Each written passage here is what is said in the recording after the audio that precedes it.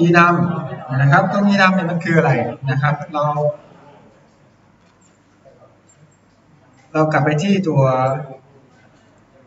หน้าจอเก่าเรานนะครับเราพอสไว้ก่อนนะครับ แล้วเราไปคลิกขวานะครับ เราไปเลือก bring and enum อ่า นะครับ enum ตัวนี้ e n u n นะครับ ซึ่งมันจะคล้ายๆกับ อะไรครับ มันจะเป็นตัวเลือกที่เราสามารถใส่เข้าไปได้นะครับ อย่างเช่นเราจะเราจะใส่เป็นตอนนี้มันว่างๆอยู่มันยังไม่มีอะไรใช่ไหมครับ เราสามารถ add นะครับ add item นะครับ add item before หรือ after ก็ได้นะครับในกรณีที่มันมี item ก่อนหน้านั้น แล้วก็ add after อะไรอย่างเงี้ยนะครับสมมติผมไปใส่เป็น item หนึ่งนะครับ item หนึ่งแล้วกด enter ไปนะครับอ่าผมไป add after นะครับ เป็นไอเทมสองไอเทมสอง แล้วกด enter ไปนะครับ ไป add item after เป็นไอเทมสามนะครับแล้วกด enter ไปนะครับ คราวนี้เวลาที่เราจะเลือกใช้งานเนี่ยนะครับ เราจะเห็นว่ามัน มันจะมี item ให้เราเลือกแค่ item ที่เราใส่เข้าไปนะครับหรือเราไม่สามารถเลือก item อื่นได้นะครับเพราะว่าเราใส่ไปเป็น มันใช้ในกรณีที่สมมติว่า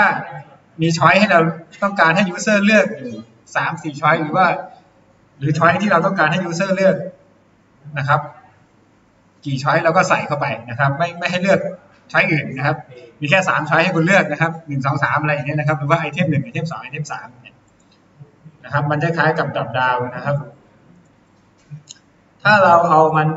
เอาค่านี้ไปแสดงนะครับ เราลองอที่ enum เนี่ยนะครับ เราคลิกขวานะครับ แล้วเราไปที่ create indicator นะครับนะครับ เราก็จัดจัดบางให้มันตรงกันนะ มันมีหลายหลายอันโอเค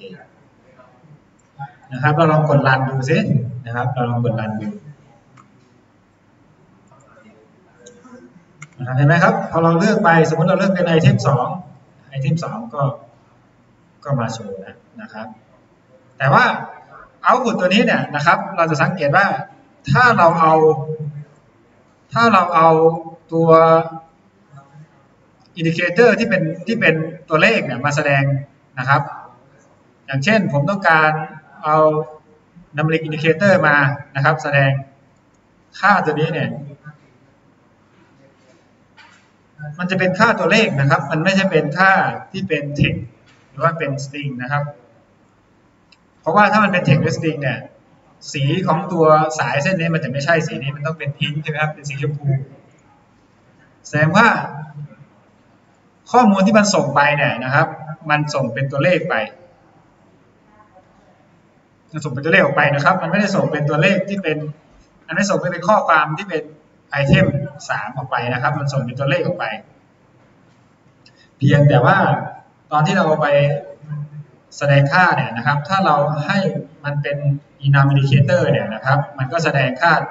ค่า item ให้เราหรือว่าเป็นตัวชื่อของ choice นะครับ แต่ตัวเลขที่มันส่งไปจริงๆเนี่ยมันเป็นตัวเลขหนึ่งสองสามสี่นะครับ เราก็ต้องไปดูว่า item หนึ่งเนี่ยมันเป็นตัวเลขไหนเป็น choice ไหน item สอง item สามเป็น choice ไหนนะครับ ถ้ามันเยอะ item มันเยอะนะครับ เราสามารถไปที่คลิกขวานะครับ แล้วไปที่ property นะครับคลิกขวาตรง enum เนี่ยนะครับ เพราะบางที item มันเยอะ เราจำไม่ได้ใช่ไหมมันมีมันมีตัวไหนบ้างที่เรา add เข้าไปเนี่ยนะครับ แล้วเราไปที่ edit item เราจะเห็นว่า item เนี่ยของเราที่เรา add ไปเมื่อกี้เนี่ยนะครับ มันมีสาม itemแต่มีค่า default ที่เป็นศูนย์ตรงนี้ด้วยนะก็คือถ้าคุณไม่เลือก item ไหนเนี่ยนะครับค่าว่างๆนี่ก็คือเป็นเป็นค่าศูนย์ที่มันส่งไปนะครับ item หนึ่งมีค่าเป็นหนึ่ง item สองมีค่าเป็นสองนะครับ เราสามารถเพิ่มหรือลด item ตรงนี้ก็ได้นะครับ ขึ้นอยู่กับเราอย่างเช่นผมต้องการลบ item สามออกไปนะครับ ผมก็ delete นะครับ พอผม delete แล้วผมกดโอเค นะครับ พอผมมาดูที่อีนามตรงนี้นะครับ มันจะเหลือแค่หนึ่งกับสองแล้วก็ว่างๆนะครับ จริงๆว่างๆนี่ก็เป็นไอเทมหนึ่งนะครับ แต่ว่ามันเป็นมันเป็นตัวว่างๆอยู่นะครับ มันส่งค่าศูนย์ออกไปนะครับ เราอยากรู้ว่าส่งค่าอะไรออกไปนะครับ เราลองกดรันดูสิแสดงว่าตรงที่มันว่างๆเนี่ยก็คือมันส่งค่าศูนย์ไปนะครับ item หนึ่งมันส่งค่าหนึ่งออกไป ที่เป็น numeric นะครับ item สองมันส่งค่าสองออกไป ใช่ไหมครับ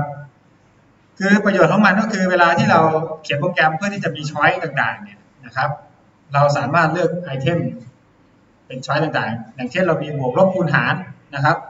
เราต้องการให้เลขสองจำนวนมาบวกกันนะครับ เดี๋ยวเราจะมีเรื่องของ case structure นะครับ case structure ดูเวลาแล้วเนี่ยน่าจะน่าจะต้องมาต่อช่วงบ่ายนะพวก case structure พวก for หรือ while หรืออะไรพวกนี้นะครับมันจะใช้ประโยชน์ตรง case structure เนี่ยเราสามารถเลือกเคสหนึ่งเคสสองเคสสามได้นะครับ ขึ้นอยู่กับ item ที่เราใส่ไปนะครับ อันนี้เป็นเรื่องของของ e e นำนะครับ e นำ